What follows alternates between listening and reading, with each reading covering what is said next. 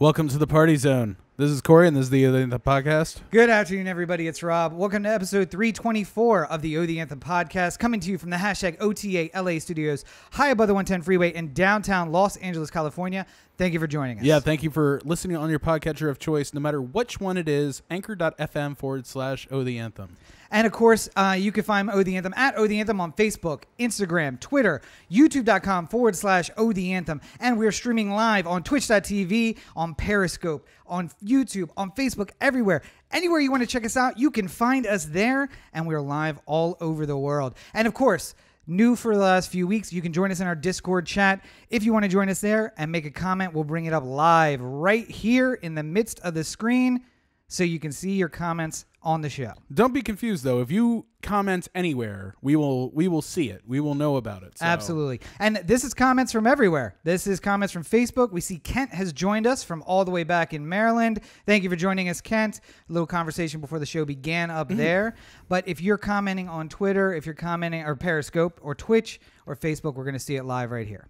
Yes, indeed. So jumping off at the top, let me grab that four-year consideration splash because I don't, you know, I'm so excited. To, oh, that's right. Hmm. Oh wow. For uh, legal reasons, we can't get clearance to go shoot this thing. Oh, fair enough. Yeah. so instead, let's uh, use that questionably legal image. Uh, so great news this week, guys. Ah, and Corey and I couldn't be more excited. We tweeted about it this week. If you're not following O the Anthem on Twitter, you probably missed it. But AMC has announced that they are making a plan for reopening theaters. Now, the Corey and I get super excited about AMC for one specific reason. We are AMC. Uh, what do, what do they call A-list? that thing? Yeah. A-list. We're A-list premium A-list subscribers, whatever that A-list is. premiere, yeah. Well, A-list premiere. Nonetheless, uh, what that means is we pay one flat fee and we can see all the movies we want to a month, essentially three three a week, which we never actually hit three Yeah. a week. So AMC saying they're reopening means we get to go back to the movies. We talked a few weeks ago about how Tenet got pushed and they were going to be pushing till late July. This means that uh, AMC reopening in mid July, I think July 19th is the date that they put out, uh, means that Tenet going to the end of the month will be right there. And I here's my question for you, Corey. We have Mulan before that. I think Mulan is going to be the first big release to And open up theaters. The first big one I don't care about whatsoever. But uh so yeah, I was gonna say what's coming out before that, and do you think they're gonna try to finish run some of the stuff that opened right before the theaters ran down? Probably not. Uh, I think that some of these theater chains are a little bit upset with how some of the movies that released like straight onto VOD have uh, not respected their theatrical window. Uh, so I doubt they're going to let them go into theaters after they've already sort of been in in uh, homes. Mm-hmm. Uh, but th- there's going to be things to to show. I imagine it's probably going to be a lot more like classic offerings in the in the immediate term until things ramp up a little bit more. But My understanding was that uh, Staten Island, King of Staten Island, Kidding Staten Island, was actually holding out for theaters and then basically pushed to VOD last minute. So I don't know. something tells me that uh, with that movie specifically, it was never going to make a lot of money in the No. box office, and I think it was probably better to just have it go on to uh, premium VOD and have people pay twenty bucks for it. Than it would be for it to go into theaters and make less than was expected in like an opening weekend. Because if they project you to have a ten million dollar opening weekend and you hit eight, Yep. then you're a humongous failure in a Yep. lot. So with with something so tenuous as whether or not people are going to go to the theaters and whether or not they're going to understand that uh, box office numbers are probably going to be 25% of what they were before because we're only going to be able to fill 25% of the seats at most. Uh, you know, it, it, it probably will look really bad for box office for a while. Uh, but you know that that's sort of the price you pay for having movies back. It, at some point, they're going to have to come back. Uh, let's uh, let's just if you guys could just hang on for a minute. Uh, do you want to do a movie night for King Staten Island? Sure. I mean, I want to see it. I don't know if the girls want to see it, but uh, I mean, uh, Rachel and I were talking about watching it the other day, uh, but I didn't necessarily want to do it just because it, it felt a little rich for my blood. yeah, Like, it didn't feel like I would necessarily pay $20 to go see it in a theater. I would use A list to go see it. right. But I probably wouldn't go to like Draft House and pay 20 bucks to see King of Staten Island. Yeah. You know? But yeah, we'll have four of us here, and uh, I mean, i- if yeah. it's more people, it, it feels more worthy of, you know, like five dollars each essentially. yeah. So yeah, I don't I don't care about that. And if you know the wayward son makes his way back from the border, maybe we can include him. But uh, saying hi to Roberto from all the way here. So back to the topic. AM, as Corey pointed out, AMC has said they are going to have 25% fill, and I think that has been a standard thus far. Um, Regal also said they were going to reopen at 25%. It wasn't going to be a hard ceiling, which I mean, I think that that just means we might cap it at 30. 35%, percent but they don't I don't think that they're expecting to sell that many tickets to the to the theaters themselves. Um, AMC has said face masks are not going to be required, and then they said, no, no, wait, face masks are going to be required. Uh, so that was good. Uh, Regal had already said face masks are going to be required. Uh, Cinemark, which is, by the way, now that I've said AMC, Cinemark, and Regal, those are the three major companies you can go see movies for. Uh, all saying 25%, all saying face masks. Uh, be be aware, uh, be kind to the distribution companies right now because they are they're in perilous situation. Regal just got a two hundred fifty million dollar debt acquisition, Yeah. which will help them sort of get through this a little bit. Um, but it's going to cost them in the long term. Right now, their concern is how can we not offend anybody? How can how can we be like Michael Jordan in the '90s Yeah. and be open to anybody and not make any kind of controversial statements and just make everyone feel welcome? And I feel like AMC at first was just like, we don't want to get into the face mask thing because then these Trump people are going to come out of the woodwork and Yep. be like, I'm not going to go see a movie if I'm going to wear a face mask, and then. It seemed like the overwhelming response to it was, "I'm not going if there's not a face mask policy." And then they were like, "All right, that, now we'll do it." And then Well, I think everyone else was after that. I think Regal announced their face mask policy after AMC had done it. And Well, so Regal wasn't even saying for sure how when their reopening was. Right. It was like everybody was waiting for someone to say it. And Cinemark, I think had said they were going to do soft, a soft open where certain theaters in certain states were going to reopen. AMC's is a nationwide reopening. yeah, Um, and here are the rules by which we're going to open nationwide. And I think part of the AMC's problem also was that they weren't clear whether that face mask policy was going to be staff or guests. And a lot of people The- were like, well, the, the they said staff for sure was going to wear it. I, So- I, I see. I, I thought that the whole the whole people the reason people were upset was like if I the guy sitting next to me not having a face mask one problem the guy selling me the ticket not having a face mask different problem and maybe it's just people like me who didn't read the story enough and weren't clear about what the rule was. I'm pretty sure I read that all the staff was going to wear face masks, Okay. and they were going to have them. The separation the Available? glass. yeah. Uh, so like if you went there and you didn't have a face mask, you could get one for a dollar or something like that, and that dollar would go towards COVID nineteen related Yeah. Yeah. whatever. Um, I you know that that all uh that all jives with me. I it we're in a really weird place with the face mask thing. I I uh I don't really get it to be honest with you because it it seems like it almost feels like insurance. Would you Yeah. pay would you pay twenty dollars to not get hurt this year?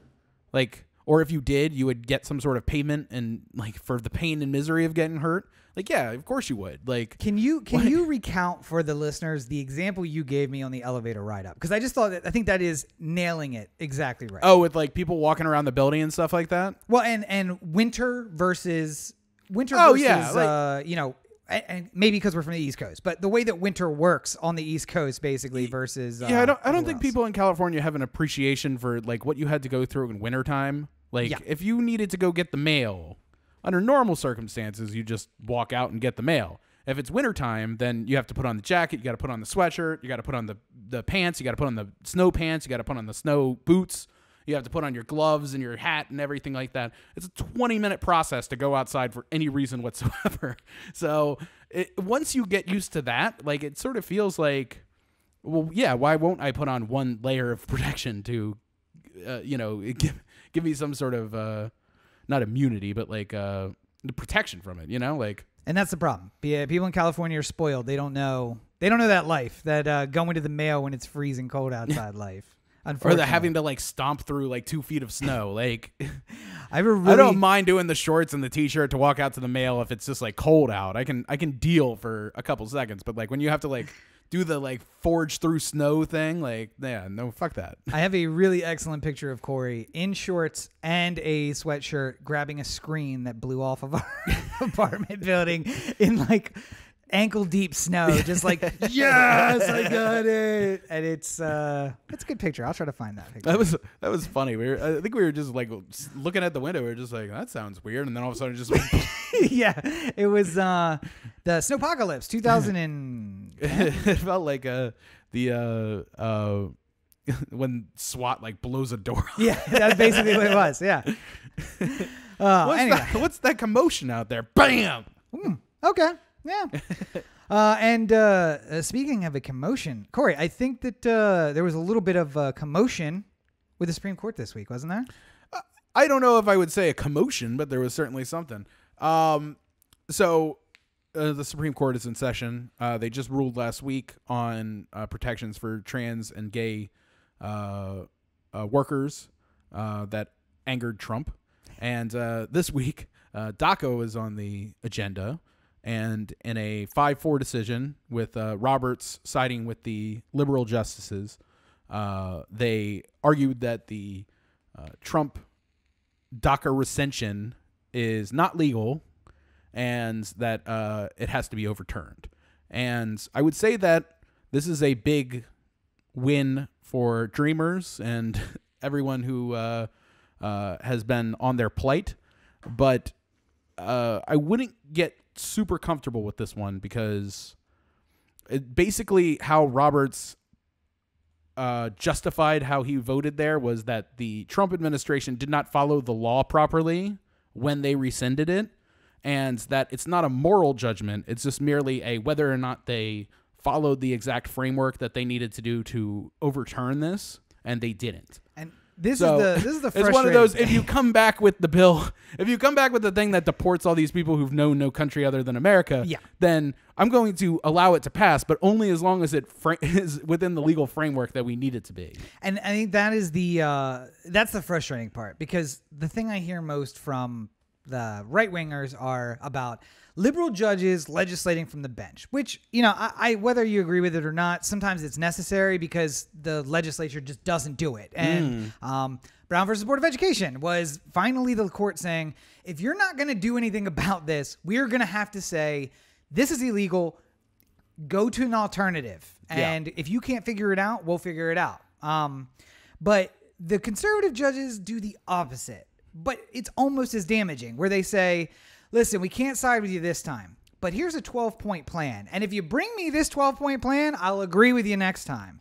Now, and one of the things I think is weird, though, uh, I just basically on this topic alone, not this topic, but uh, Roberts alone, is giving it some thought while you were talking. I don't know that if it was just a moral call, that the new Roberts, this new guy who we weren't expecting at all, Yeah. doesn't make a moral call. I think this was a way of him hedging a bet and being like, now, I know you saw me rule on the other thing and it seemed weird, but this thing is because you didn't do it right. And then if they bring it back, maybe he's going to be like, well, yeah, kids in cages, I'm not down with that. So I'm also going to overrule you on the fact of morality. And Yeah. uh, maybe it's a way of like calling out all evil people and being like, hey, um, this is look at all the evil people who voted for this. We're still going to strike it down, but now you know. Well, I mean, like uh, you know, at, at the end of the day, what you want from a judge, if you're if you're trying to get the fairest, most honest judges you can, what you're looking for is somebody who is going to apply the law, uh, and apply the law from the Constitution mostly. Like you know, like everything. All, all our laws are based somewhat on the Constitution before it. So if there's something that leads from the Constitution to this moment, then you're going to go through all those steps to get to there. Uh, but at the end, you want somebody who's going to be fair, somebody who who examines all the facts and tries to judge based off of whether whether or not uh, it should go or not. You know, and I I feel like Roberts at this point is more concerned about doing something that might be politically charged that is against how he feels the law should be read. Like he is going to he, he will he will go to the right on issues if it's a 50-50 call. But if there's a clear violation of the law somewhere along the way or violation of how the law should be uh, instituted, then he, he has no choice. You've, Yeah. you've it's like a you know, if, if crucial evidence is thrown out by the judge because it was illegally obtained, like, What do you want me to do? yeah, he clearly murdered her based off of this conversation that you got of her recording him in a two party consent state. I'm sorry, legally, I cannot allow this piece of evidence into the courtroom. Yeah. I agree that on that tape he said, I'm going to kill you when I got home. And later when he got home, she was dead. But But unfortunately, there's What do you nothing I can do about the law. Like, Well, and I think there's also uh, in the pre-show we were discussing about how some justices tend to, as they they stay on the bench for longer, think more about their place in history, and they come in on the they come in on the court like Kavanaugh has, just full of piss and vinegar, and like I'm a conservative and this is how I'm gonna rule, and then some of them. Scalia isn't one. Ginsburg isn't one on the other side some of them tend to move towards the middle and just be like, I don't want to be on the wrong side of history on something here. Now, I don't think Ginsburg has to worry about that because generally she's the buffer trying to keep us out of fascism. But um, for Roberts, I wonder if there is a little bit of, I don't want to be on the wrong side of history 20 years from now because, by the way, and uh, funny thing, in the uh, if you guys were here for the wait screen, we do a wait screen before we start the show, and, and it runs with some old episodes. I realized there's a hundred percent chance we talked about this when he was nominated less than five years ago, but he's a 40 year old. He was nominated for the court at 40 yeah. he's going to be there a long time. And part of me, I think, hopes that he's thinking about 20 years from now, if I'm still sitting on this bench, do I want the, that court then? Robert, Roberts was in Bush, though, right? yeah. No. So it would have been more than, it would have been, oh, he was at the end of Bush. 2005. He was the end of Bush, right? No, 2008. Was it 2008, 2007? well, 2000, yeah, I mean, 2008 would have been when Bush was going out. Yeah. I think it would have had to have been 2007. Wow, what were we talking about then? I well, I mean, we've Roberts. talked about Gorsuch, we've talked about Kavanaugh. Maybe it was uh, during the discussion of um, Garland. Garland. Yeah. Because I feel like Roberts came in at the end of Bush. Well, I mean, like then- anytime we talk about the court, there's a, a certain degree of Roberts you talk about Yeah. because he's the he's the uh, Lisa Murkowski of the court He got- moment. Like he A guy he goes wherever he wants. Like nominated to Chief Justice instead of having someone on the court move to Chief Justice and Right. nominate a new associate. Uh, yeah, I guess he's been there for a while. So, oh wow, he's in his fifties now. But nonetheless, um, he's still going to be there for a long time. I, I And- just uh, for me, it, it just seems weird that you don't think about your place in history at all when you get to this place because it's not like you know if you're an NBA player, you think about your place in history at a Yeah. certain point. If you've played long enough and you're well known enough, LeBron James at this point is starting to think about like beyond the basketball accomplishments. What am I going to be remembered for? So you know that's a you know not that he doesn't care about these issues, but it's why he's leading so much on like George Floyd and race, racial issues and stuff like that because he sees a moment where he can make some s- substantial change and he can be remembered more for this in association with a great basketball career than he would be known if he was just a great basketball player. Uh, and there's more cachet in him being known as a uh, somebody who fought for rights and not just played the game, right? There's there's a big difference though. uh, he's one of 10,000 people who've played in the NBA Yeah. as opposed to one of nine that are on the court at any given point in time. And uh, although the next great player may be coming up as he's going out, uh, for instance, Rehnquist uh, Yeah. was nominated in the late or mid 70s. I think Nixon nominated Rehnquist as Mm-hmm. an associate justice. Reagan moved him up to chief justice. He was on the court long enough that he wrote the minority opinion on a case that then came up for review while he was still on the court and basically had a bunch of new people sitting next to him who said wow this is a real shitty opinion and that's part of the realizing like roberts at 45 Right. having to be like i don't want 20 years from now for this to come back and be like dude what were you thinking Yeah. like kids in cages is okay and whatever it takes to get you to the right side of the issue, you move there just so 20 years from now you're not talking about it again.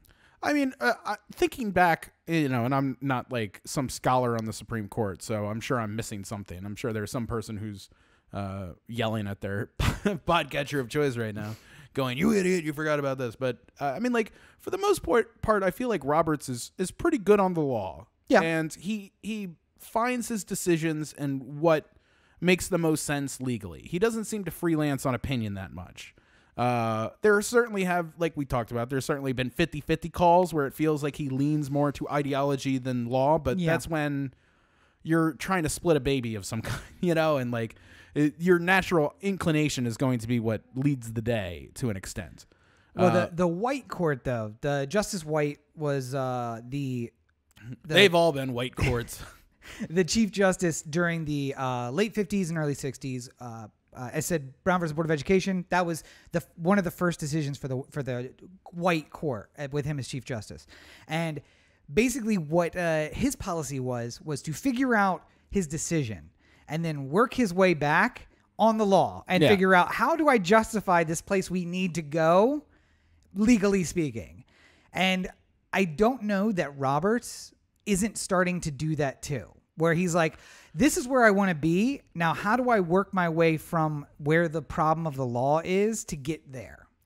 I think Roberts on some of these issues, like because when when DACA came up with Obama in court, where they Yeah. were trying to uh, argue it on, uh, they argued it all the way to the Supreme Court, and they upheld that the Obama administration was within their rights to do this.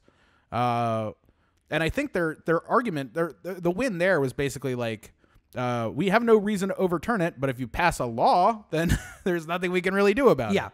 Uh, and then they never bothered with the law part because they were worried about any law they write to counteract this would have some sort of institution in it that would not be able to be defended in court. Because Yes. at a certain point, when people were arguing DACA uh, from the right it, in in the case, it, it it was hard to not make it some sort of mention of sort of an inherent racism that Latin people need to American go back to their countries. Like Yes, yeah. uh, and, and Latin American countries, even Yeah. though there are DACA recipients who are from all over the world. right.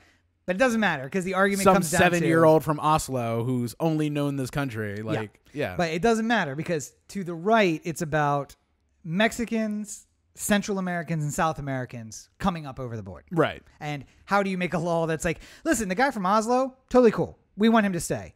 It's the we can't say brown people. Uh, it's the uh, non-whites. Is that cool? Can we say non-white? No. Okay. Uh, yeah. Yeah. How do I make this argument?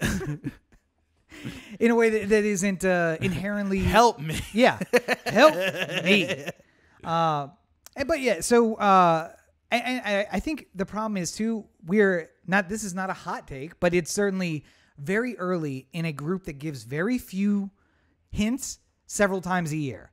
So like this is two of maybe four or five decisions they'll give, and then big break, and then they'll hear some more cases, and then October we'll get some more stuff. Yeah. and it's like you get these little hints of things, and then we could come back to Fuhrer Roberts in October. We don't know. Right. Um, and it could just be like, um, yo, Trump really like his hair. Eh, I'm gonna rule for the uh, for the administration. I mean, uh, Roberts isn't wrong to to rule the way he did, and uh, you know, it, it seems that the the conservative justices who voted on the uh, dis, uh, dissent, uh, the four, uh, Kavanaugh, Gorsuch, uh, The usual suspects. the usual suspects.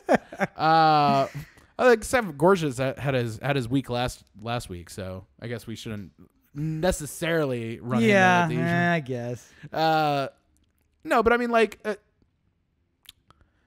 they all seem to be buying the line. Robert seems to be uh, the one who's being swayed on the law. That that's our that's our kind of defining moment here, I think. And the good news, there's not much new good news that in the Trump administration, but the good news, if you if you're uh, if you care about issues like this, is apparently they're so bad at the law and they don't know how to write it that it it just it's just bound for failure. Yeah. It's one of those if it gets to the high court, it's going to fail because no adult with a law degree at any point was involved in putting this together. It's funny because uh, I- I don't know Trump if, writing a declaration on a napkin does not do it for Roberts, you know? it, it- I don't know if it was last week or it was the week before where we talked about Civil Rights Act and Lyndon Johnson spending a lifetime learning how to write legislation and Right. being like, listen, if you don't want to get challenged, this is what we got to cover. Here's the it's a pain, but here are the 90 bases that we have to get through to make sure it will survive judicial review. And they did, and it took a long time, but they got it done. And then basically what we have now is a guy doing fiat where he's just like, I want to stop doing this. And they're like, okay, uh, law or executive action. At the end of the day, uh, people who are really talented and good at the law want to continue doing it in some way or fashion. And if you're a politician who is interested in going in it that way, you know, uh, 15 of the brightest legal minds of our coming generation are stocked in Nancy Pelosi's office right now. Yes. Getting paid nowhere near what lawyers are supposed to get paid, basically getting paid like college students Yep. to read and rewrite laws. Uh, this is not something they do because uh, they like punishment. They know that if they eat shit for a little while in Pelosi's office, then it's going to open them up for the opportunity to maybe run for office in the future. And their law degree is going to help making them a more attractive politician when they run. it helps on them. It helps you. It helps move you along, right? Also, Uh, if you uh, work in public service for 10 years, they can forgive your uh, student loans, although Trump has basically closed that program down. So It basically you can get it you can get it done as long as you follow every single rule perfectly. And there's going to be rules that they tell you about like in the middle of the night and so, it's it's the send uh, you an email at 3 a.m. be like respond to this by 3:30 or else your loans are not.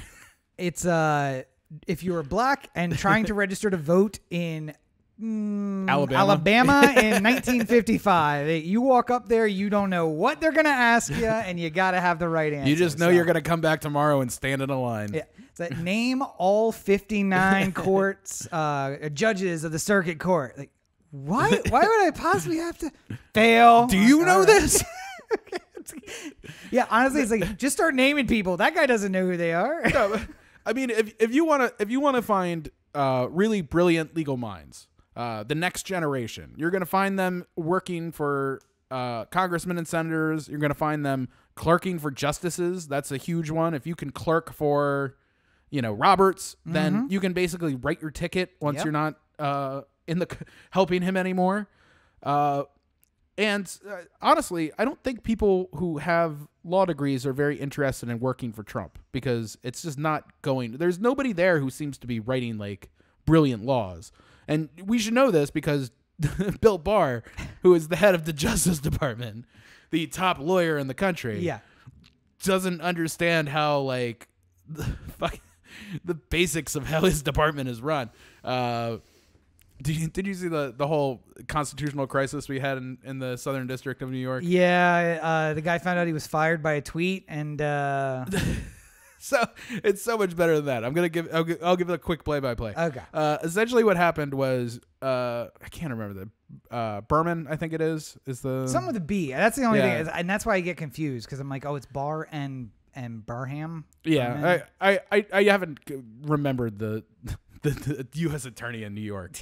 this is not on the top of my list. Uh, Berman and Barr met on uh, Friday, and basically, Barr was making him an offer to uh, move up to be the head of the Civil Rights Division of the uh, Department of Justice, and uh, Berman was like, "Oh, that's nice," and apparently. Barr thought that was an agreement that he was going to resign and move up to be the head of this department in the Department of Justice. Uh, and when uh, Barr said he's uh, offered to resign, and Berman replied with, "No, I haven't.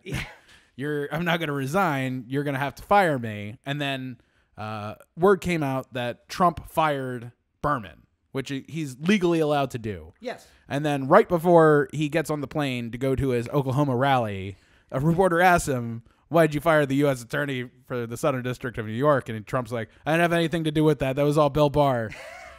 and now it was a constitutional crisis because who actually fired him? And Because by the way, Barr doesn't have the authority No. to fire him. does not, under any circumstances, have Yes. the ability to fire him. Uh, the good news, I guess, in that in this game of chicken that was happening, is that because the uh, U.S. attorney has to be uh, confirmed, and it only triggers a confirmation if he resigns. Yes. Because he was fired, the number two moves up yeah. and apparently she's just as good as not as him. So we're. It seems like there's going to be a nice uh, continuation of power there, but like hasn't he said he's not giving up the office? he said he was not going to give it up unless the president fired him, and then the president fired him, and Oh, then he was okay. just like, "I'm gonna wait for clarification before I pack up my desk." Yeah, yeah. I would, If you don't mind, I'm just gonna hang out here for a little while, just make sure I'm still fired. By the way, um, to everyone who listened to me four years ago and voted for Trump, because well, I don't vote. I, why would you listen to me? Um, play stupid games, win stupid prizes. That's all I can say. I, I don't know what else what else you want at this point. Um, but I was gonna say, do you know where you can't find scrappy lawyers who are just digging in and using that legal education? No, where? Uh, you can't find them at otheanthem.com, that's for sure. Uh, and you can't find them at Othe, uh, Otheanthem on Facebook or Instagram or Twitter or anywhere uh, because although I might be a lawyer, uh, I'm not scrappy and I'm not using my law degree. So uh, the other place you're not going to be able to find them is in police departments all over the country. Probably a place you should have a lawyer or two. Yeah. Um, At least somebody casually aware of the law. yeah, not somebody who took uh, six months of training, five months of which was focused on guns and how to shoot a gun. Um, but so I, I mentioned in our like little intro bit, but uh, Corey, I, I there's a virus going around the country. Are you aware of this? Yeah, I mean we're in a pandemic. No, no, Oh, not, that, one. A No. new one? A new one. And Oh uh, God. we're I- I feel bad because I feel like I've been proven wrong. Uh, I said that uh, to be a police officer was a job, but clearly there must be something akin in all of them because they all seem to be getting the flu all at the same time, while the rest of us are just fine. Have Very they weird. have they been talking about this flu or I mean, I mean, they've there- been tweeting about it, and you know they're not. Uh, nobody's working. They're apparently well enough. It's not life threatening because it's you're well enough that you can TikTok and tweet and be on Facebook. Uh, but cry about an egg. McMuffin. Yeah, yeah. Um, you can pretend to be poisoned, although that lady wasn't actually a cop; she was a security guard. Uh, you can pretend to be poisoned by uh, a stick chick. She actually is a, a sheriff department, but she had claimed, I guess, in the video that she was uh, like local police or something. Oh, see, I, But I- remember, we had our conversation about how sheriffs and police Yeah. are different. No, no, she's like, but I guess she There was, was a in lot- a uniform of a private. Uh, there was a lot of back and forth about Yeah. what what her deal was, but uh, She's crazy. That's what her Yeah. deal is. Yeah, uh, you don't give crazy people guns, but uh, it's America, so what are you gonna do? apparently she's a sheriff of some kind. Not a, she's like a uh, Deputy sheriff. No, what's the one below that? Like the No, it, Like- deputy is all they get, right? Is that like uh, what would you give like a high school student who wants to be a deputy? reserve? deputy or reserve sheriff? You're a sheriff deputy explorist. like Oh, uh, uh, like uh, when uh, the sheriff goes down to the uh, the little building and behind the school, and everybody gets a badge. Is that what you're talking about? what's the uh you remember not another teen movie? yes. Uh oh no, it wasn't not another teen. What fuck, It- what was the one with uh Uh, it was the Scream. Uh, Yeah, yeah, yeah. spoof. Uh, Scary movie. Doofy. yeah, Doofy. Officer Doofy. Yeah, she was basically Doofy. whatever whatever accommodation they gave Doofy. I was cleaning my room. so I've uh, come for my egg McMuffin. That was 100%. By the way, a movie which would not get made today No. just based on that voice alone. and wait, no, David Arquette is in the actual. He Scream was in movie. Scream, yeah. So It's it a was dude like who looked a lot like It David was an Arquette. Arquette lookalike. Yeah, yeah. Oh man, but it could be a role that David Arquette would actually play. I don't know. I, I wonder what the line is on that one because I mean, like it was clearly that he was. I mean, if you watched all the way to the end of the movie, spoiler alert. I'm sorry, I, spoiler- I don't know if I'm ruining scary movie for somebody, but turns out he was just putting on an act. It was to- the um uh, uh usual suspects. Uh, God, what is the guy's name from Usual Suspects? Um. Oh my God. Uh, I don't know what. It, Kevin Spacey yeah, also. Been not in scary movie. All, no, all of these uh, people have been me too. But so Keyser Söze, he Keyser Söze'd. Uh, um, Doofy was Keyser Söze. Yeah, yeah, yeah. He was acting dumb to So to be this is unassuming. like so many levels. But if you, if you guys, uh, spoiler alert for Usual Suspects from 1996, um, Kevin Spacey plays a mentally challenged guy, and then as he walks out of the police station, like he has this limp. And like the limp goes away, and then he like throws some shades on and jumps into a car, and you're like, "He's Keyser Söze." Uh, and then Doofy was basically Keyser Söze. yeah, yeah, yeah. Playing the "Too Cool for School" by Fountains of Wayne at the end. That's right. Oh, Fountains of Wayne. Oh, a lot of deep pulls. A lot of deep pulls from the late 90s. By the way, uh, most of the people I work for or work with yeah, were not born when that movie came out. So, So how does old. that make you feel? Ah, so right. old. Uh, but anyway, back to the topic, which is uh, cops are getting the blue flu. Yeah. And um, if not, just outright quitting. In case people don't know, uh, we were just joking about them being actually sick. Yes. This is this is them uh, calling in sick because they don't want to go to work because uh, they're upset with how they're treated. And also because they apparently don't, you know, read a newspaper when like New York blue flued out and crime, Crime went, went down, down, yeah. and the city was much more peaceful and Baltimore police blue flued out and crime went down and things were a lot more peaceful. Except for the police. Well, Except for the gun trace task force. They, they were That's right. Yeah. they were the only ones working. I seem I seem to remember at some point along the way, like Kevin Davis was like, "The gun trace task force, the only one who's doing anything in this department." Oh, the more my. you know. Yes, yes. Uh, man. but uh, we kind of got into a discussion prior to the show just about like. Uh, so I, I I have always been a defender of unions, and I, I get put in a weird position when we talk about police unions and teacher unions because it seems like too often. And I'm, I'm glad this week I thought about Michael A. Wood and his first appearance on uh, Joe Rogan, where basically he said, "I figured this union who defends so many terrible cops would come to my defense, Right. because I did the right thing, but crickets, and they just let me be fired. And I think that's where I get upset because I am almost okay with you defending bad members of your union so long as you have as much boisterous noise to defend the good ones in your union when they do something that people don't like and they try to get fired too. But the cops don't do that. Teachers don't do that. I so the the position we're in right now with like the blue flu in Atlanta and stuff like that is Yeah. they're upset with how things went in uh god damn it blanking on the name uh the Ahmaud Wendy's no no no no the Wendy's shooting where the guy was sleeping in his car Oh, just happened Brooks, yes Rashad Brooks, Rashad Brooks Rashad sorry. Brooks. Um, I, I always don't want to get a name wrong, so I do that thing where I like have like Brooks in my head, and Yeah. I'm just like, what the By the fuck way, is it? maybe it's a bit of a problem because we can't remember which black guy shot by police the one we're talking about. Yeah. Uh, anywho, By the way, uh, if this was in Norway, we would be like, "Oh, you know that guy, the one guy in the last four years that was killed by police? Yeah, let's talk about that guy." We know all the names of the people who were shot by police in Norway. the uh, so essentially, what the Atlanta Police Department and the members of the union more so are upset about is that uh, the proper procedure wasn't followed in uh, pressing charges against the cop Yeah. who uh, is being charged with murder in this case, and uh, whether you know, dep- uh, cops are a dangerous subject right now, but part of the situation we're in right now is that these contracts and union rights that have been written into law essentially are going to be protected until it's time to renegotiate in a lot of cases. There's not going to be a lot of unilateral movement that's going to be able to be made to change how procedures go. Except this is a good example. So Fulton County Mm-hmm. it holds the court. So the Fulton County District Attorney is the one who charged the cop. Right. The CBA is with who? Atlanta. The city of Atlanta. Ah. And what we've been under forever is the understanding that Fulton County will honor the Atlanta's- terms of the yeah. CBA that was agreed upon with Atlanta. And now they're just not. They're like, I don't care what your CBA with Atlanta. Okay, so go to the Atlanta DA. Oh, I'm sorry, they don't have a court in Atlanta? Oh, well, who cares? Yeah. Sorry. Uh, you should have negotiated with Fulton County if you wanted something in there about not charging people.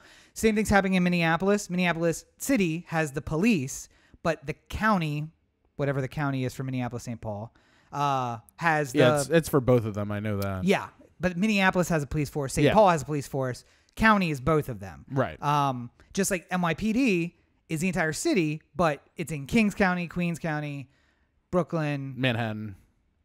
Manhattan, and Staten Island. Yeah.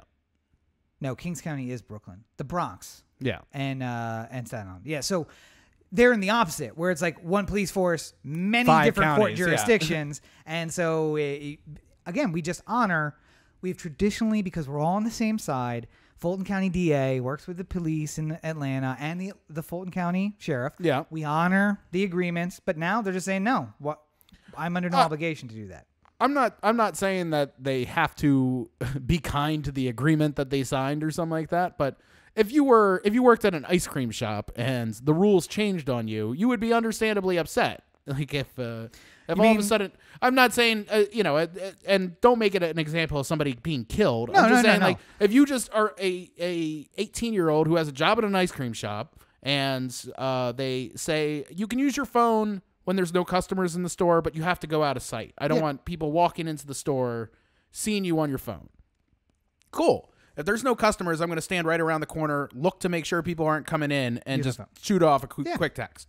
Uh, if you come in the next day and the boss fires you, said I told you never to be on that phone, you're fired, get out of here, then it would be understandable and justifiable if you were upset about that or your coworkers were upset about that, and maybe there was some sort of planned action if it was that big of a deal.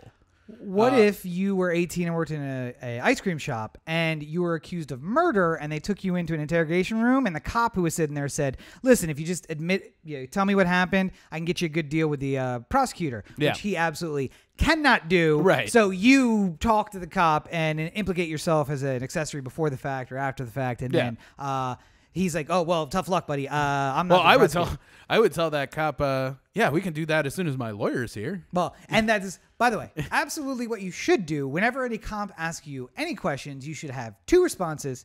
Am I being detained? If the answer is no, walk away. If the answer is yes, then you say, I am not going to answer any questions until my lawyer is present. That's it. And then they're going to be like, hey, buddy, uh, I know you've been here a while. Can we get you some food? Don't answer because as soon as you start a conversation with them, they can start asking you, asking you questions again.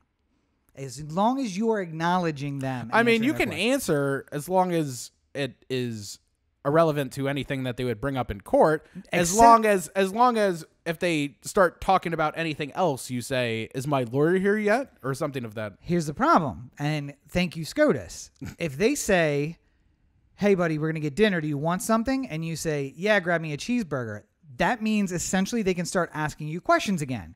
And if you're tired because you've been there for 18 hours and you're hungry because they haven't fed you and maybe you haven't had water or anything else, then they start asking you other questions like, "Hey, you want us to call your mom?" And you know, I know you're 18, but you want us to call your mom and, f- and let her know where you are, or you have a girl somewhere we can talk to, Yeah. and just like, yeah, it's gonna be a shame if they don't see you very long. Yeah, I'd really, you're a nice kid. I'd really like to help you out because you opened the door by responding to them. Yeah. So your proper response should be, "Hey, we're gonna get some. We're gonna get some food. Do you want anything?" You should just say, "Where's my lawyer?" That's it. Yeah. The only words out of your, lou- your mouth should be, Where's my lawyer? Lawyer, Miranda, any of those things. Yeah. Because otherwise you reopen the door. Thank you. Uh, Rehnquist Court, by the way. Yeah. Call back to the Rehnquist Court. Uh, but so. Uh, my my point of my the uh, kind of the thing I was saying is just that cops lie to people all the time, and it is what it is. They they try and pull tricks to to get people arrested on a daily basis. Yep. And Yeah. now you are crying foul because someone is not abiding by the verbal agreement Mm-hmm. that you reached with them. And not even that, kind of just an understood agreement. All right. A baseball unspoken rule, if you will. Yeah. eh, Guess you should have had your, your, uh, union negotiating with Fulton County as a party to this CBA. Yeah. Otherwise, sorry. Uh, yeah, we said we wouldn't prosecute you, but that doesn't mean we can't prosecute you. I don't know what you're talking about. Hey, Right. You said you couldn't. Char- you would get. We're put in a word with the DA. That's Part not of, your power. but you know, uh, again and again, this uh, this is not meant to be a defense of cops in any sort of way. But the uh, the the major issue that we're going to have for the foreseeable future with any kind of protest or any kind of movement that uh, this, a citizenry tries to make on the way the police uh, work in the side of community is largely going to be dependent on how we renegotiate the rules Yes. between you know whatever entity and the cops. Uh, and that's not the type of thing you can just necessarily throw out the agreement you have and there's going to be little things about it.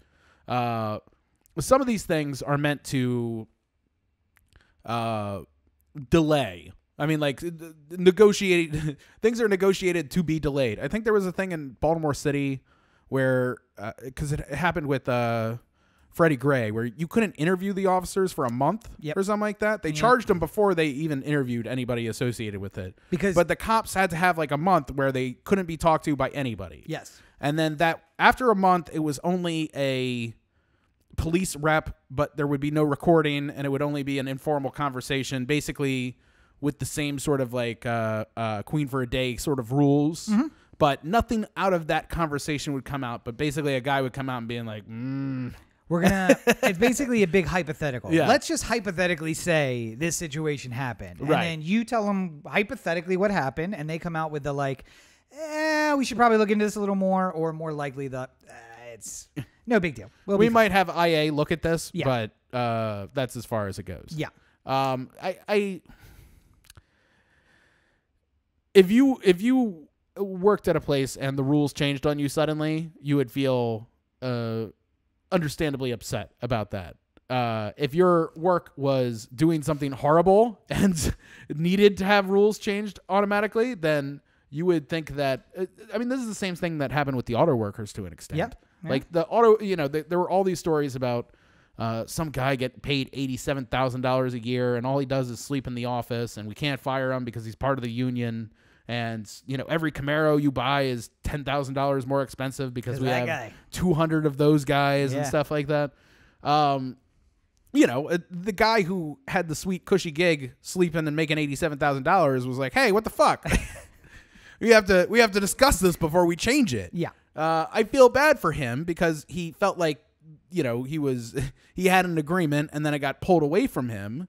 But I don't feel bad for him because he was a louse and should, should have been fired a long time ago. Like there's there's two different sides to a to a problem here. You know, there's there's multiple ways that we have to approach this, and one of the one of the so the problem is that uh, in negotiation, if there's a lot of things that come up, like uh, situations like this where they're sort of foregoing uh, casual understandings they've had with Atlanta and going Fulton instead to charge them, they're going to start making a bigger deal out about who can Yeah. charge them and stuff. Yeah. That will that will not go into a oh we're going to give up more rights because you charged us now. It's going to go into a bigger fight about what kind of jurisdiction Fulton County has over proceedings and, And- so on and so forth. That leads to another thing. So, so Atlanta is more controversial because there is a, uh, a br- a rule broken, whether it was written rule or not. Yeah.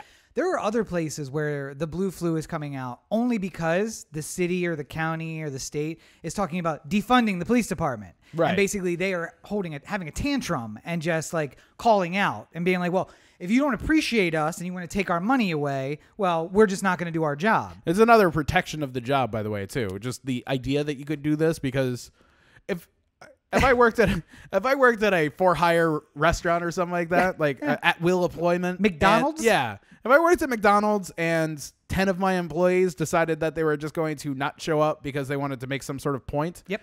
I'm going to show you ten fired people, like immediately. I got a stack of resumes over there. All of them are just as bad as yours. All right, and I can get all those you guys are in here tomorrow. not special, Sarah. uh, they, it- uh, you know. So but by the way, that is why it's so hard to organize McDonald's and and Right. Ralph's and those places because literally people are so desperate for work that I mean there have been times in my life where if I had gotten called and somebody said, "Can you be here at 4?" I would have been like, "It's 2:30. I'm an hour away." Yes. I can absolutely be there for. Uh you got the job? Oh, okay, yeah, no, I'll be there. I'll see you. So they could have fired their entire staff and closed for lunch and then reopened later in the afternoon. for dinner. Yeah. Uh, police departments don't work like that, No. and they have legal protections that if they call out sick, that uh, they they are not going to get punished for that. Although, ironically, McDonald's police departments probably just as proficient with firearms. So it's one of those things, you know. We should give drive-through people guns. That's how we'll fix it. If they see any crime, they'll just stick out and just like pew pew pew pew. Pew, pew. but wait, wait. Remember what Biden said: shoot him in the leg, not in the chest. That's what we got to do. Oh Uh, Jesus! so we got two other news things. I just want to like lightning round through so we can get to the rest of the show because we were already going a little long. Um, something that kind of came out, and I don't want to. I don't want to. I don't want you to hot take it, but it just came out today. So feel free not to comment if you don't want to. No But, comment. Uh, just that uh, there are paramedics, there are uh, support staff at hospitals that have been doing double shifts since the COVID pandemic began. yes. There are Ralph workers who have been working double shifts since the pandemic began. These folks are going out and going to work while the rest of us got to stay home working our telecommuting jobs or just not going out into the world. Yeah. And one of the stories that came out was there was a paramedic, and I think it was DC, who was working uh, 14 hours, which is a double for him, and then driving Uber several hours after his shift because he couldn't pay his rent Yeah. on double shift paramedic uh, pay. And I, he had a kid or two kids. I, I don't remember all of the details, but it's just like there is no world in my mind where that makes sense. That you are out working as a paramedic in a coronavirus world doing double shifts and you should still have to go drive Uber afterward to make ends meet. I think that there are uh, misunderstandings about what uh, is what is value exactly. So, with the police department, you hear something like you know LAPD costs one point eight billion dollars a year, right? Like, or that's what that's what they were proposed Yeah. for before Garcetti cut the old budget down. They Um, only cut 150 million out, but yeah. fine. it's still a billion dollars being spent on the police, but uh, 1.6 billion actually. Yes. no, no, no. He cut the the earlier amount, so it was like 1.2 before. So now it's just 1.05 or whatever. Oh, oh, okay. Yeah. All right. Well, sure. Yeah. Uh, Big cut. well, they're not authorizing any more overtime, so I don't know what to tell you. By the way, uh, just so you, for those who have trouble with big numbers, Yeah. uh, a million seconds is 11 days. A billion seconds is 31 years. that is the we're talking about 31 years of seconds of dollars. That is how much is being spent. I was like the uh, somebody. Uh, there was a, a fake Twitter account for like LAPD parody account or something like Yeah. that, and it's just like people think 1.8 billion dollars is a lot of money, but then you think about it, and it's only 32.8 million dollars a day. it's it's just like, holy shit, we're spending more Christ. per day on the police department than we are for homelessness. I don't like pick an issue, anything. Like there's there's a ton I'm of pretty sure that we spend 5 million a year on homelessness in the U in uh, LA. I think I think they'll argue that they spent hundred million dollars or something like that, but that'll be five million from the city plus charitable plus you know an extra bond measure that was passed by the state, and which theoretically is available for homelessness, but is also available for schools and also to buy bulletproof vests for cops. So Right, but I'm who saying- knows where that money got spent? I can't tell you. the problem is that at the end of the day, like. If you ask Garcetti a question, he's just like, "No, we spent hundred million dollars on the homeless." I'm just like, "Well, I guess I'm going to spend the next two and a half weeks looking at the entire budget and figuring Figure this shit out." Like, yeah, yeah. like at a certain point, you have to take people on their word because I'm not going to do that. Like, By the way, this is why local newspaper reporting is so important. Yeah. I, I mean, going back to Baltimore, the Baltimore Brew, I didn't realize how much I missed them. Yeah. But they are doing really good in-depth reporting where they're like, "Hey, you know how they said this?" Not true at all. Here's the facts, and I'm like, "Oh, bless you so much." uh, and Matt Pearce, uh, who is a reporter with, or was, I don't know if he still works there at the LA Times, basically has made it his uh, his little thing to be like, "All right, so the mayor said a lot of things." Is that a scream? No, that was a that was a almost car accident. oh, okay. I was Uh, waiting for the boom. Uh, Matt Pearce will say like, uh, "Okay, so the mayor the mayor spoke for 30 minutes. I picked out one thing. Here's why he lied." And it's like I went really in depth and found all the details. Um, so support local news reporting, by the way. Be Yeah. like Corey, who has a. Uh, do you still have the subscription to the Baltimore Sun that you're paying for? Oh no, they wouldn't take your money. That's right. I did I did at the end of the day have to uh, uh, figure out a way to get to the Baltimore Sun because I have a lot of research that involves the Baltimore Sun. so. Uh, but you know, They didn't make it easy to give them No. money, and I feel like in this climate, you should probably. well, I mean, like, uh, and, and newspapers are a perfectly good example of what we're dealing with with with uh, the hospitals too. Because I, I should anyone who works a full time job be struggling to pay rent? No, I you know like I, I feel like we should we should all be reasonable here to uh, you know. If you cut a billion dollars off of Bezos's top, right? Like just a billion dollars fell out of his pocket and it was distributed amongst other people who lived in LA yeah, and you know the what are we at like 10 million people in la Mm, the basin, yeah, in- Yeah. in LA County. yeah Orange i mean County like area. that's Yeah. not that's not large money but i mean like hypothetically you know like little tiny investments and things that it can prove and if five dollars worth of investment in somebody's life can make profound impacts on the other side Wait, so I have a proposition for you, Corey. yeah So I think the state or maybe the federal government should step in, take a little bit of money from really rich people, and then fund programs that benefit large groups of people. Oh, it sounds like communism you're speaking of. the uh, or you know, just taxation. That's you keep Well, no, fighting these things. no, no, no, no, no, no, Republicans. no, no, no. Hold on. Here, here's here's the real problem. Uh, at It the end, communism, the at the end of the day, we think we think that uh, you know how much it costs. If if I keeled over with a heart attack right now and I had to pay cash for all my expenditures at the hospital, Yeah. it would be ninety-seven thousand dollars or something like that, you know, or more. Your bigger problem is I don't call the cops, so you better hope somebody watching the show is going to make a call for you. Just gonna dump me off the balcony and hope somebody calls. Push you out in the hallway. The uh, Somebody will take care of that. It's fine. People walking by with that mask. I'm like, excuse me, excuse me. Put your mask on, sir. and then call the police. Uh, call the ambulance. Uh, no, I mean, like people, you know, it, it would cost me ninety-seven thousand dollars if I went to the hospital with a heart attack. Yeah. Uh, you, you imagine that of that ninety-seven thousand dollars, that you know, twenty percent of it is going towards staff. I mean, like if I was running a restaurant and I had twenty percent payroll cost, that's more or less Yeah, what I, you are, know, right? that's that's pretty even with what I should be paying.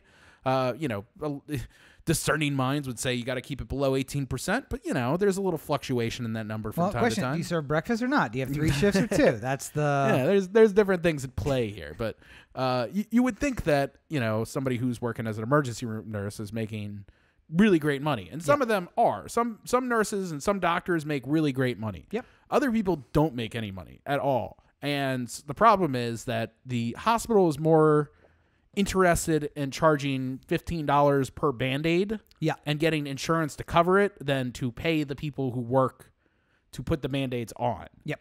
uh, and it's more important if they can if they can show a direct cause of of price like Uh, I don't know what to tell you every single time we put a band-aid on it costs 20 bucks that the insurance company has to go well, all right Yep.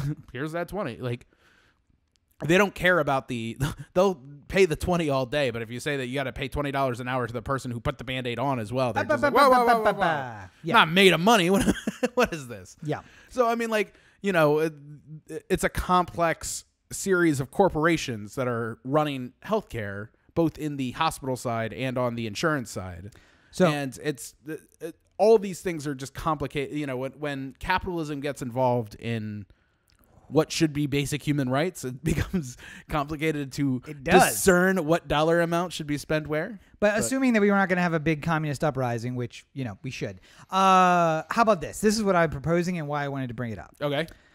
I propose that once we are free and clear of coronavirus, wherever, whenever that is. Yeah. Um, because I don't want something to be done during the crisis that then is undone when the crisis is over. This is a we are out, we're clear. Now we're going to take decisive action.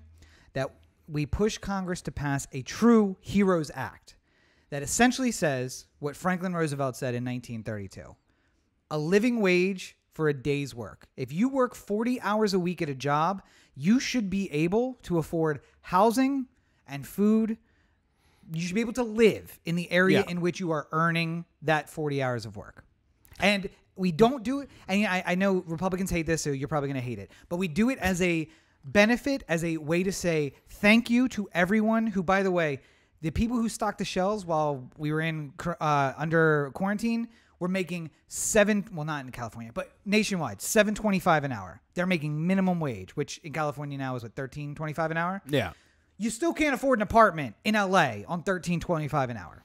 I think I think a lot of the problem is because uh, I- I think we specifically have seen this over the course of our lifetimes how the value of the dollar has exploded so much. You know, Well, it, the devalue. well, devalue. Yes, yeah, but I'm saying like the the the cost of things has exploded, while the the amount of money you make for an honest day's work is is stagnant. You know, But First, and I think first, that, can, first tank of gas I bought, what about 89 cents?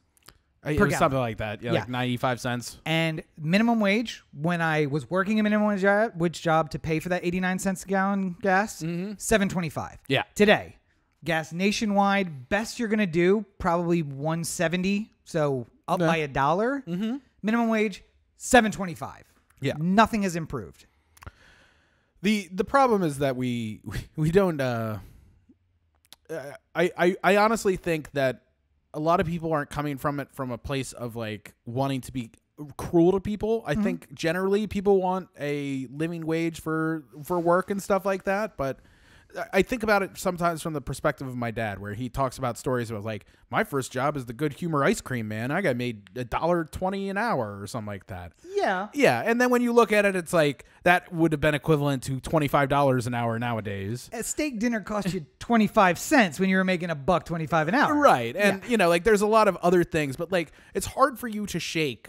Like That- you know, like yeah. oh, at one point I made a dollar an hour, and you know, like I I was fine, and like you know now they're making fifteen dollars an hour, and you know, like I'm sure expenses have gone up a little bit, but it's hard to if you're not out there constantly like having to rent a new place or Yeah. like you know it, it, get new insurance or you know get a new cell phone plan or whatever whatever little cost of life you need to you need to spend on then you don't know what it's like. Like you know my dad has paid the same mortgage for 25 years you know or more so to him we're still stuck at you know 1990 price on Yep. on on his home Well, it's Uh, one of the things I love about Iowa and New Hampshire, which they don't do anymore, but they should. It used to be that that's where you would get the thing, the questions like, "How much is a gallon of milk?" yeah And then you get all of the candidates to be like, "Uh, dollar ten? Like, whoa, this guy's way out of touch." Yeah. And he'd be like, "I don't know, fifteen dollars? Like, what? Yeah, it's." Because it lets you know how in tune your leader is going to be with the reality of life. yeah When's the last time you, sir, bought a gallon of milk or a gallon of gas or bread or Yeah. anything? Um, but you heard it here first. I am calling for the uh, the post coronavirus Heroes Act, where we call for a living wage for a, a living for work. Whatever you will make for forty hours, you have to be able to live on that wage if you are going to be working forty hours. the problem is that if you don't have people uh, and th- this is always my concern about this type of issue is if you don't have somebody who is fighting for the rights of the people who are you know at the lower end who are getting getting shafted here then it's just going to cause prices to go up you're good you would pay a nurse $25 an hour instead of 15 to do their job and now they can live comfortably it, like not, not so that they can pay their rent in LA or something like Yeah. that but then all of a sudden rent is going to go up because more people have more money and there's going to be more you know costs that are associated with people having more money uh, the, the hospital is going to charge way more than they uh, have before to you know take the new cost of the raises that you're giving to these employees and now you're going to hurt somebody who doesn't have insurance and got hit by a car and now they're at the hospital and their hundred thousand dollar procedure is now hundred fifty thousand dollars. super strange because the rules of capitalism are governed by an invisible hand mm. supply and demand. Yeah, And through the last three months, demand has gone up exponentially, supply has gone down exponentially. And yet, prices are relatively stable in the store. Why is that?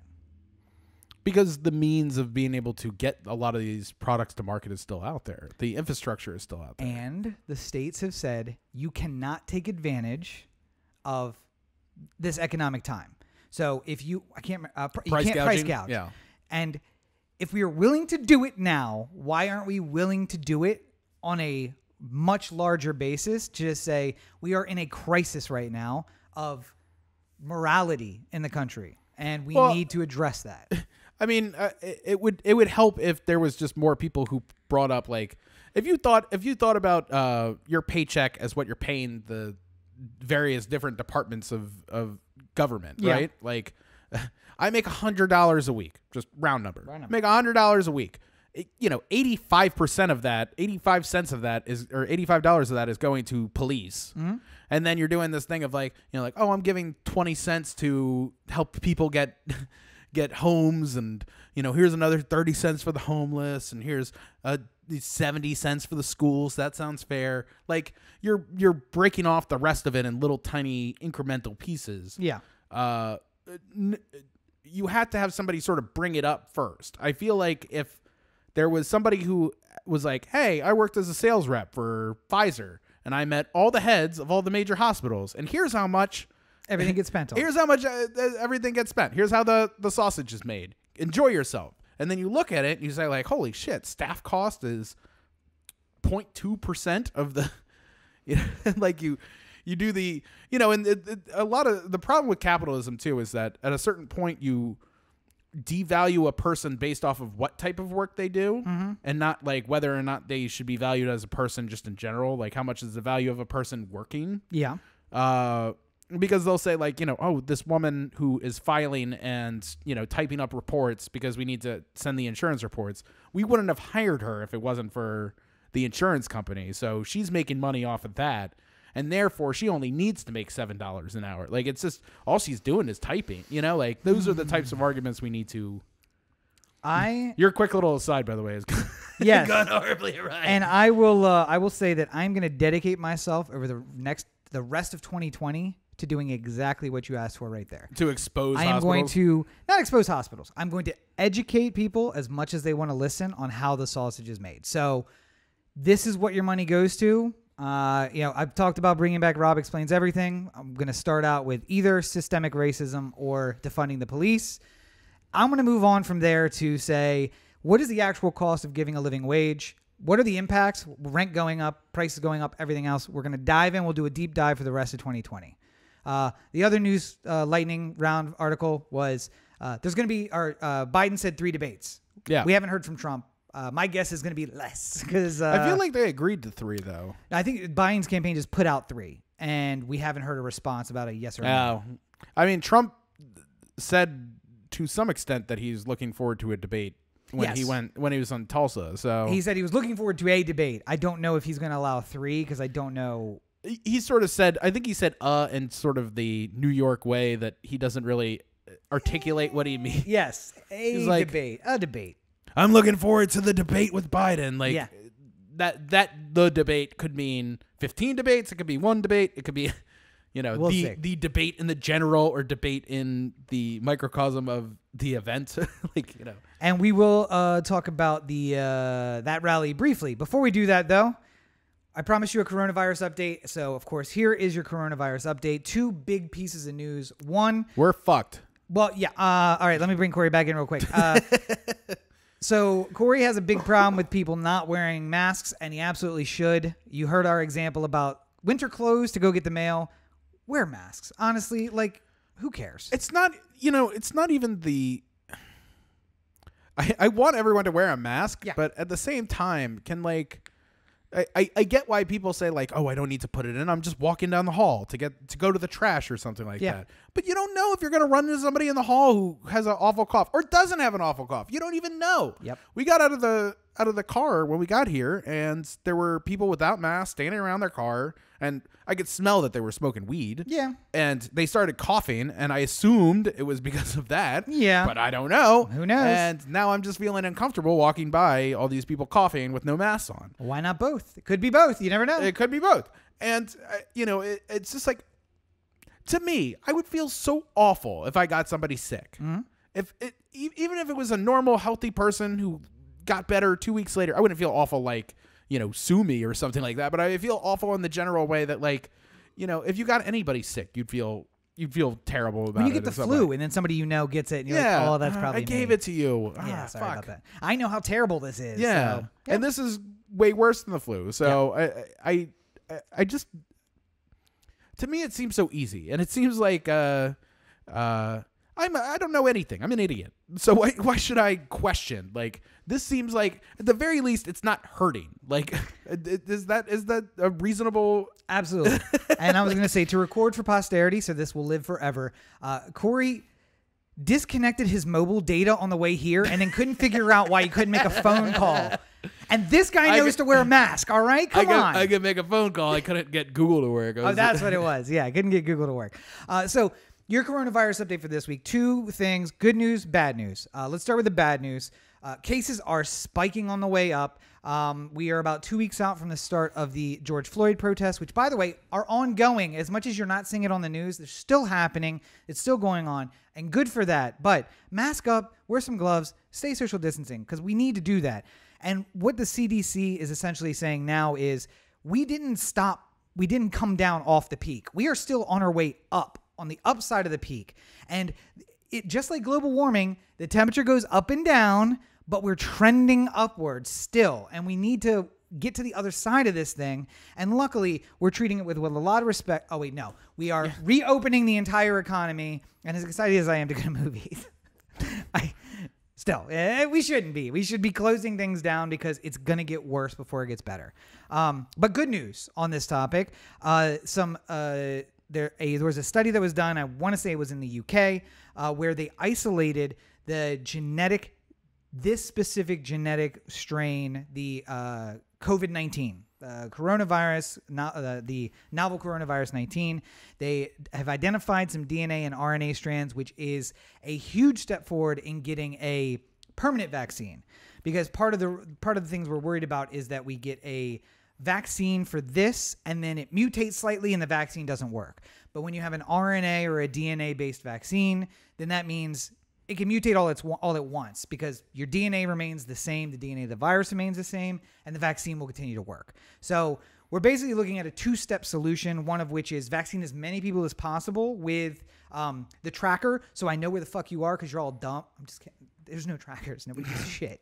Uh, but no, So. Bill is- Gates can keep an eye on you in Redmond, uh, vaccine as many people as possible. like he wants to know where, where all you dumb shits go. Strip club again. God, his life. God. I don't even. But uh, yeah, so there's gonna be two Bill steps. Gates, like, you know how long it's been since I've been to a strip club? Forever. Yeah. I can't go. I can't go. I get mobbed. Well, one guy's a billionaire, one guy's broke. I wonder what the difference is. Uh, but uh, yeah, there'll Oh. be two. There'll be two steps. There will be a temporary vaccine. All which the is- strippers come over to me and nobody else. So Wouldn't you? awful for everyone else. Wouldn't you? God, if Bill Gates walked into a strip club, it's just like all the gr- girls in the middle of like private dances, like bye.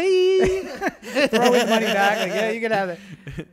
Anyway, I, I'm trying to lightning round this, and Cory's trying his best. So uh, essentially, there'll be two steps. It will be uh, temp- not a temporary vaccine, but a vaccine that is based on the the virus and our studies of the virus, and then hopefully later on there will be a RNA DNA vaccine, which will be more akin to polio or smallpox, where we can eradicate it and we won't have to worry about it. This particular novel virus anymore just in time for nature to bring up coronavirus 20 yeah the um, sequel. this sequel so uh, yeah so that's your coronavirus update uh, and we'll be back next week with more updates but uh, wear a mask and stay inside if you can and just generally like uh, i feel like la too we were so good for a little while there like nobody was leaving their house and i would look out and i'd see like no traffic for Yep. the most part and i'd be like wow we we really are doing well and then it seemed like uh they they left the door open a little bit and they're just like all right i guess you can go outside and play a little and then boom just ev-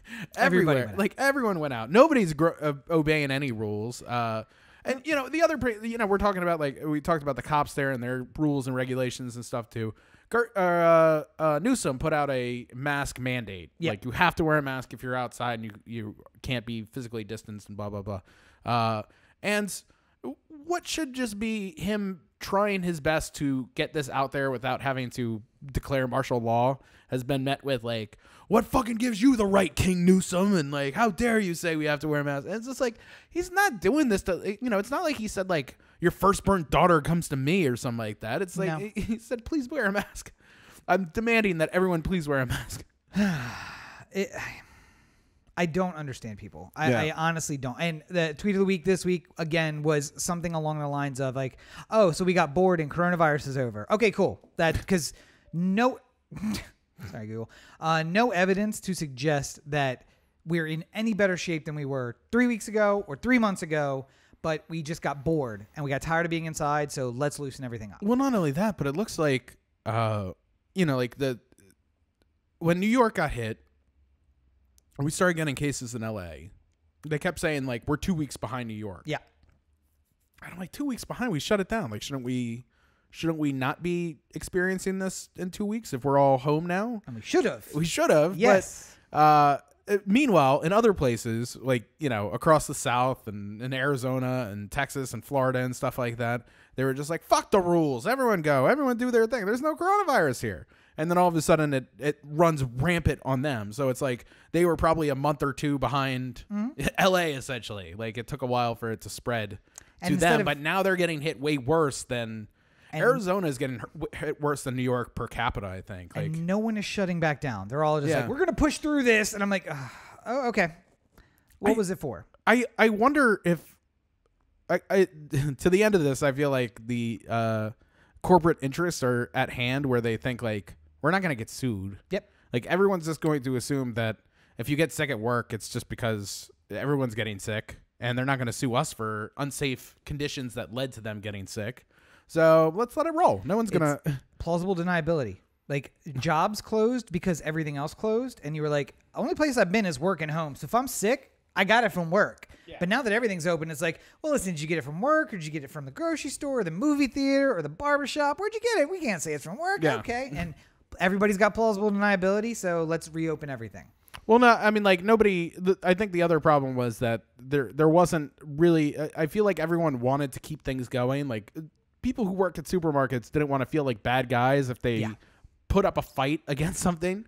So you know the reasonable standards of wear masks, wear gloves, wash hands regularly. You know we're gonna do temperature checks. Like that Clean all stations. seemed like the the uh, that seems like enough to make people feel safe. Yeah. and like they sh- didn't have to push anything more. But uh, perhaps uh you know uh, some of the essential workers who got drafted into working even though you know their their essentialness can be questioned to some degree. Yeah. Uh uh I I don't mean essential like they're not essential you know members of society but like you know if you were saying like everything's going going to die who who needs to go to work like it's nuclear war who's going to work still I don't. Like- yeah. Half the people who are going. yeah Now, some people might think the dispensary workers are absolutely essential, but for me, I'd just be like, maybe those guys should stay home. yeah maybe maybe not everyone is essential you know but the I, I don't know I I just I just feel like at some point there's there's a corporate interest who's saying we're not going to get sued so Yep. let's just roll with it And as soon as we hit that point, it's goodbye. I Yeah. mean, that's what we're doing now. Everybody's just like, all right, well, let's reopen and call it. So Yeah. uh, we should be okay with 400,000 dead because that's probably where we're headed now. They were saying when this started, 100,000 dead by August. We hit that in May. yeah So we are now not out of the realm of possibility of hitting half a million dead Well- from coronavirus. also 25% of I can't remember if it was the total cases or the deaths, but 25% is uh, in the U.S. Yep. and there is uh, the U.S. is not 25% of the world's population. We are we are getting hundred hit. percent. It's the only one that matters. We are getting hit way worse than any, anyone else. Uh, now, granted, I, I uh, getting into Trump here for a second. I, I understand that uh, uh, China might not be reporting all their numbers accurately, and uh, that's something we've come used to with China. Uh, but that is no excuse for you to try and do the same and limit the number of tests. Yeah. Uh, as he as he so stated in his rally in front of a middling group of people, uh, there was uh, he he argued that uh, part of the reason we were in this trouble was because we're testing too much, and he told his people to slow the test down. Now later, uh, people said uh, he was joking. That was a joke, obviously. Obviously. But then when Trump was asked about whether or not it was a joke, he kind of danced around it. So it's always you can't just be like, yeah, of course it's a joke. Why don't? Uh, anywho, Trump had his rally in Tulsa. Uh, a million people apparently, more than a million people said they were going to be there, and uh, according to the Tulsa Fire Department, uh, fire marshal, uh, 6,200 people showed up to the 19,000 seat arena. Uh, Trump apparently had Air Force One do like a low pass over the arena, uh, so he could mire the crowds outside. And when he saw no crowds outside, they tore down the outside event structure because they were going to give a speech outside and then inside. It was going to be Pence and Trump outside and then inside. And they were going to do two shows. Uh, but I mean, Trump was essentially working out new stand-up material yeah. in front of everybody. He's getting ready for 2020, so he's uh, he's just working his new stuff. this out. is what he does. He goes out. He, he, he works on his new stand-up material. He he uh, he does his thing to own the libs, and then you know that's couple of the greatest hits when you hit like a lull and you got to just get a little punchy laugh and you hit the greatest hits and go back to the new stuff. I, what bothers me, and I mean, this shouldn't be surprising because it's been happening for as long as Trump has been alive. But uh, what bothers me is that he'll he'll say things that are in such poor taste for no other reason than to rile up idiots and make make people who don't agree with him like vigorously like shake their head in disgust. He uh, this one didn't seem to pick up as much as others uh, other things he said during the the speech, but I tweeted about it because it, it bothered me. Uh, he was uh, make, uh, the, he was getting into defunding the police and like whether or not there's Democrats crazy Democrats are saying we should defund the police. I couldn't even believe it.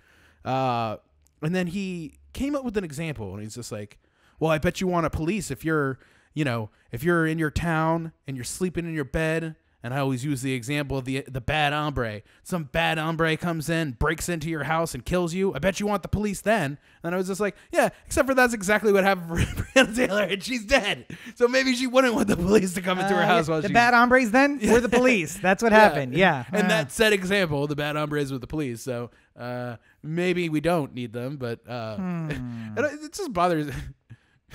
Like if he's talking about like O.J. Simpson, it's just like, don't you hate it when you murder your wife, your ex-wife, and their boyfriend, and or the guy from the restaurant? yeah. Yeah. Eh, maybe, maybe boyfriend, friend, whatever he was. Yeah. And was like, yes, yeah, it's terrible. Speaking to a party you won. All right. The the uh I, I I'm glad that uh not as many people went to this thing Yeah. as as I was I was really worried that this thing was going to be fucking packed with idiots, but I think that uh calmer heads prevailed and a lot of people were like I don't want to go there.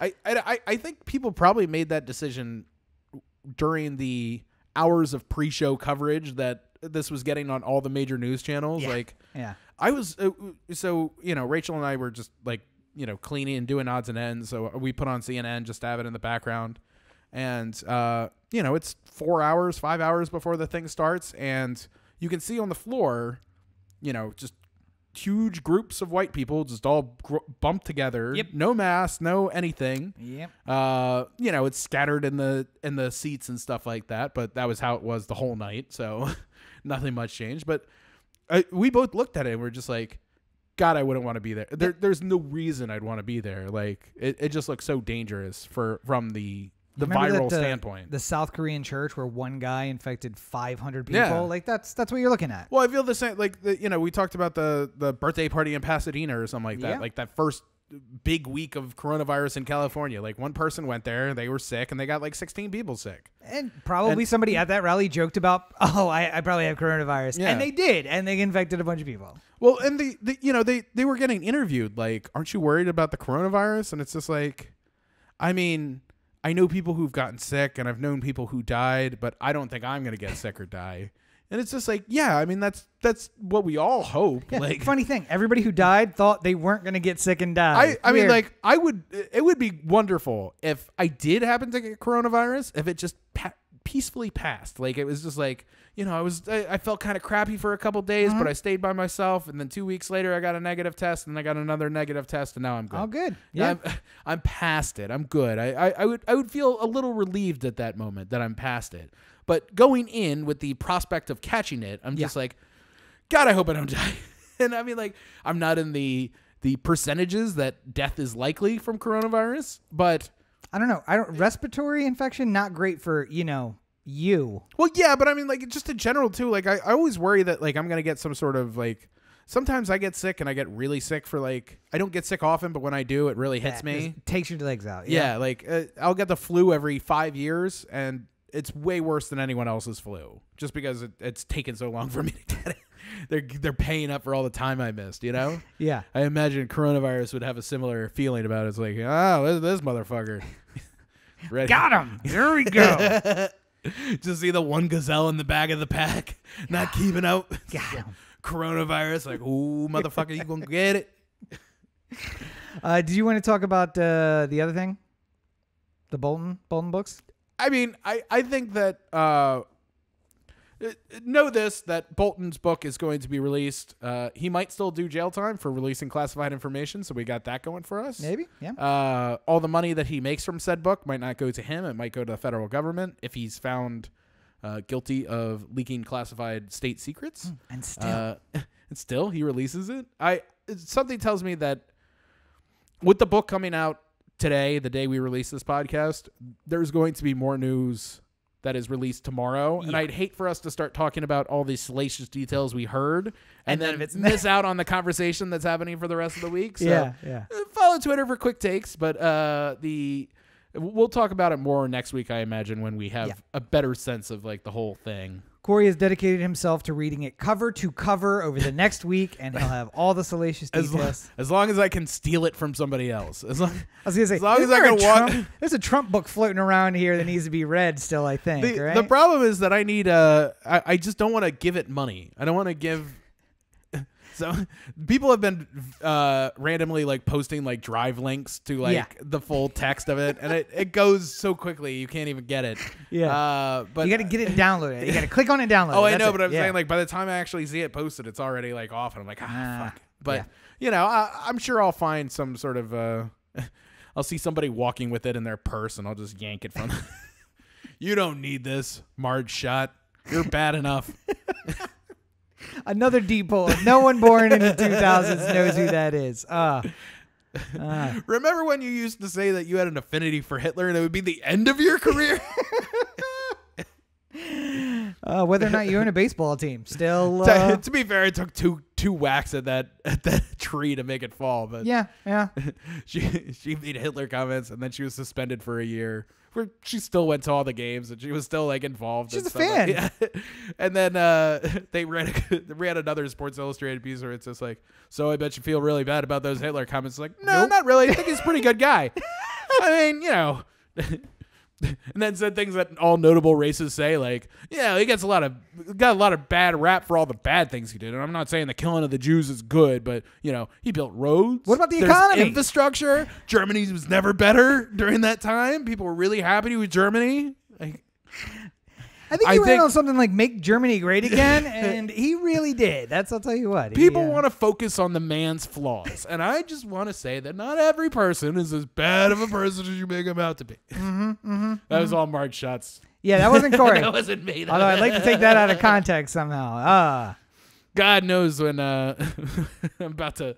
It's the last day of Oscar voting, and they're gonna be like Cory's controversial remarks on Hitler, and then just all the Marge Schott parts just get. There's just a blank anytime I'd say Marge Schott. The dot dot dot. If you're- Hitler has some pretty good ideas. if you listen to this in the future, hit me up. I'll edit it for you. It'll be great. Uh, As long as you point people to the website. You Yes. can- You, take the take the video, put it on CNN. Just say go to otheanthem.com for more. yeah, I was gonna say. Uh, wait, which website would we point people to, Cory? Uh, probably otheanthem.com. Cory to theanthem.com. O The Anthem on Facebook, Twitter, Instagram, and the listener line 443 219 7595. What's that number again? 443 219 7595. You can find more of me at my website, CoryBakerFilmmaker.com, Facebook.com forward slash Cory Baker Film, and at LegendsCB5 on Twitter, Instagram, and TikTok. Uh, I have a review that is ready to go out for 7500 75 uh 7500 i don't know exactly how we're talking about this movie but uh it's going to be out there. It's an amazon original so everyone who has amazon prime can go see it right now. And uh yeah that's about it for me. All right. And uh, of course, you can find more of me at Robert N. Cheek on all your social networks. That's uh, Facebook, Twitter, Instagram, Snapchat, TikTok, Tumblr, everywhere at Robert N. Cheek. Uh, make sure you check out robertncheek.com where you can find links to all the videos that I do. That's at youtube.com forward slash Rob Cheek. Uh, Everyman Movie Review, doing two episodes a week. Uh, the last one we have up is uh, The Gentlemen. Nope. Uh, I Love You Now Die. Those are the last two, The Gentlemen and I Love You Now Die. And I have a special series coming forward for the next four episodes where I meandered through Apple TV. And although they don't have any original movies, they do have some original series. So for the first time, I'm going to do a series review about four of uh, the series that drew me to Apple TV and whether or not you should check those out. So that's available at uh, youtube.com forward slash Rob Cheek, along with uh, some other stuff like the Return of Rob Explains Everything. I'm looking to do that this uh, week. As a radio show Hmm. on Spoon. So if you don't have Spoon, you should download it. Come and find me at Robert N. Cheek, and we'll be doing Rob Explains Everything, the radio show this weekend. Uh, it'll also be on YouTube, but check it out on Spoon in its pure format. You'll be able to call in, you'll be able to send me messages, uh, all that kind of stuff. Uh, and of course, uh, everything about me is there on the website, including the books, which are available on Amazon. Bar Outs Books. And we have so much exciting stuff coming. Uh, not just uh, the books, not just all of that, but Oh the Anthem stuff. In fact, we're going to get off here, we're going to break down, and we're doing our two week check in on a four week project to bring you a ton of brand new stuff for the rest of 2020. Before we do that, though, I'm going to have to uh, rid myself of the sweat that I've just been billowing inside of while the the air has been off. I was gonna, listen, All this hot air is just causing. I keep trying to lightning round it, and you, it's like the tortoise and the hare, and I just keep trying to hair it up, and you're tortoising it Yeah, down. You're you're over there going like, "Hey, let's have a lightning round." And I'm like, "Hey, you remember Scary Movie?" How about Marge Schott? Anything else random I can pull out? OJ Simpson? How about that? Lucky for me, I cut the hair. I'm nice and cool. Ah, cool, calm, and It's collected. just, it's just billowing inside the rat's nest right now. yeah, That's I, what- I'm I'm relaxing in my very chill pair of thieves Mm. boxer shorts. It's lovely. Pair of thieves. They're not our sponsor, but they could be. Hit us up. anyway, Well, I think we've done good here today. up until that last part, we've done something. I don't know if it's good, but as always, you're listening to the O the Anthem podcast, part of the O the Anthem digital network. For for Cory, this is Rob. Have a great week, everybody. Send air, please. How the fuck is it 72 degrees in here?